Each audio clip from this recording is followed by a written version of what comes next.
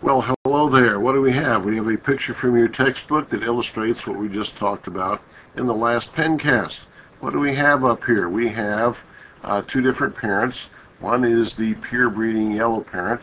If you bred these with others of these, nothing floating around but big Y's, right? So the genotype of this parent is big Y, big Y as far as seed color is concerned. And this other parent, its genotype is little y, little y. So they are crossed.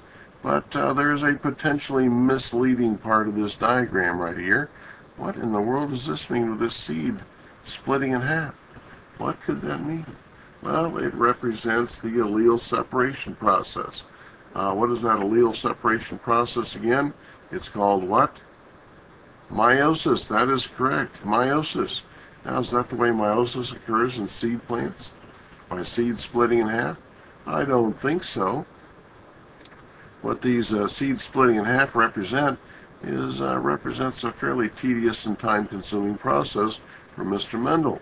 He, the seeds won't be won't, wouldn't be split; they'd be planted and watered and cared for, TLC and all that, and then the bean plant would grow up to its full height of two or three feet, and you'd have to wait. And this is two different uh, bean plants now: the one that came from the yellow seed, one that came from the green seed you'd have to wait till the flowers bloom.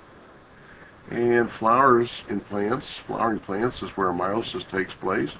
Then you'd have to do that little crossing experiment we saw in uh, an earlier presentation uh, where Mendel did what?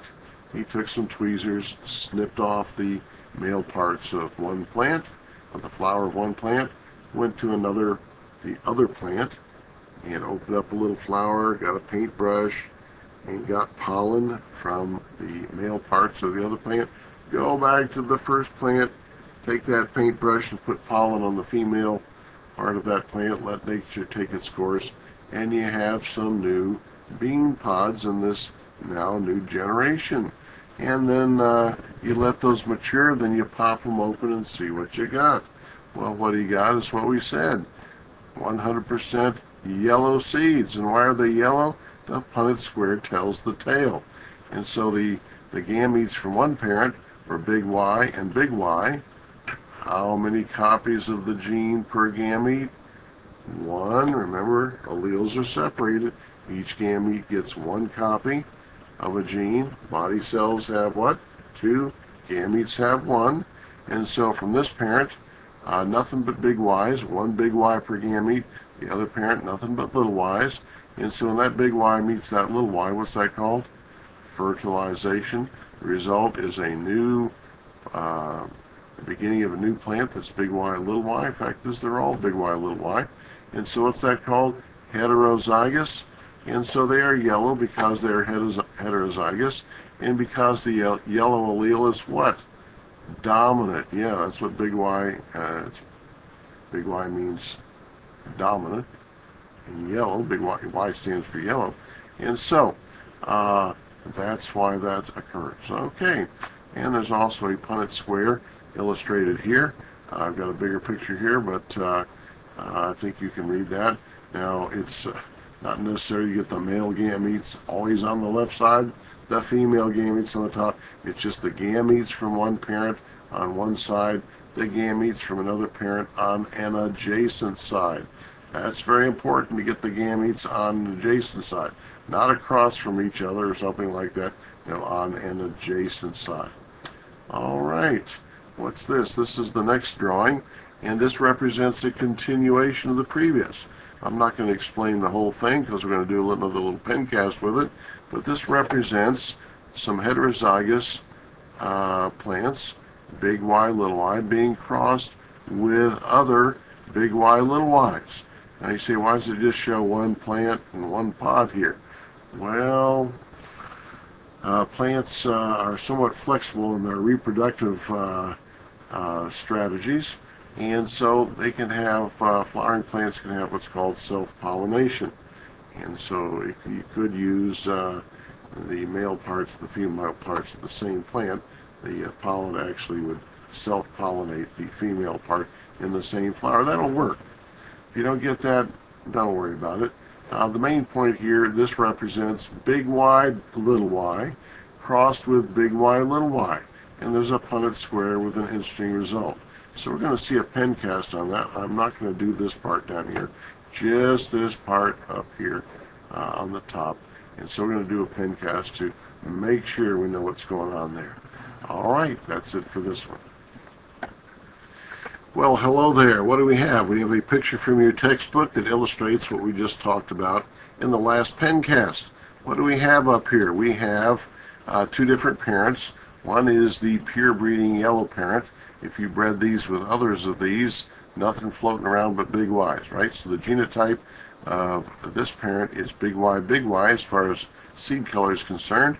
And this other parent, its genotype is little y, little y. So they are crossed. But uh, there's a potentially misleading part of this diagram right here. What in the world does this mean with this seed splitting in half? What could that mean? Well, it represents the allele separation process. Uh, what is that allele separation process again? It's called what? Meiosis. That is correct. Meiosis. Now, is that the way meiosis occurs in seed plants? By seeds splitting in half?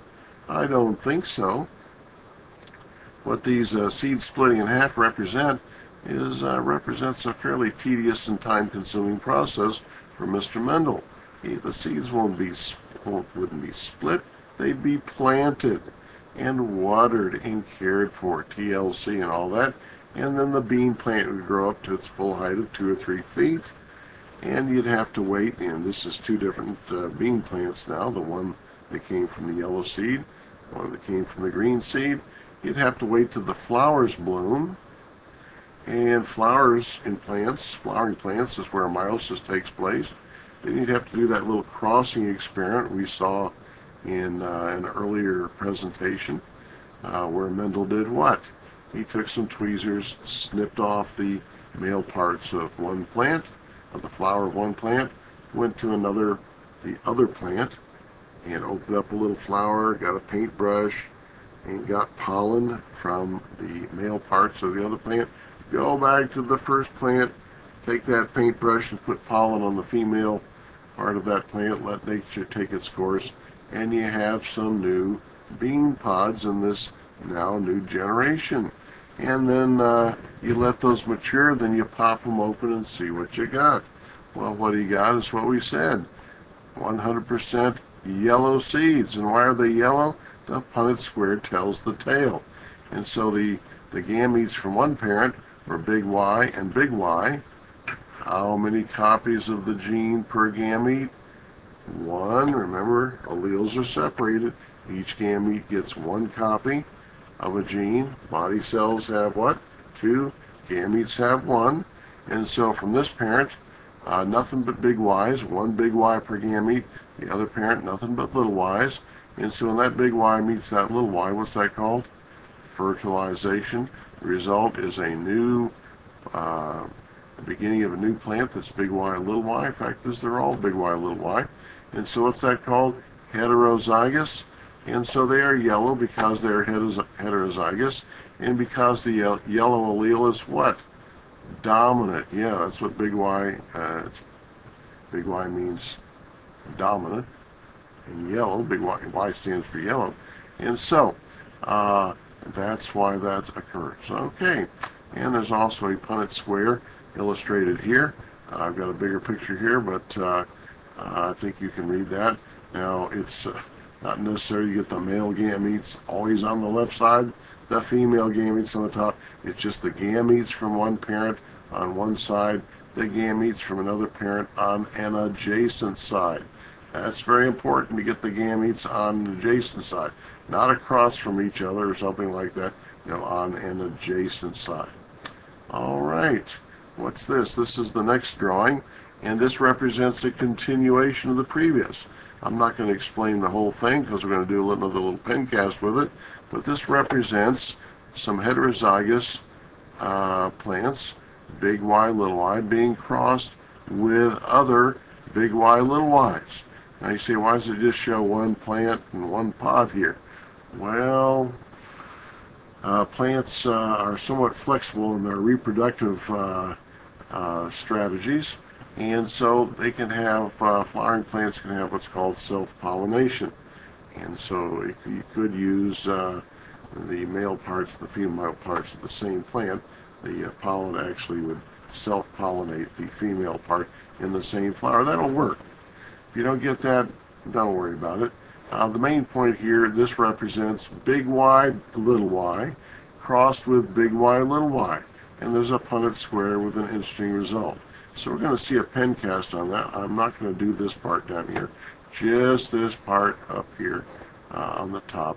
And so we're going to do a pen cast to make sure we know what's going on there. All right, that's it for this one.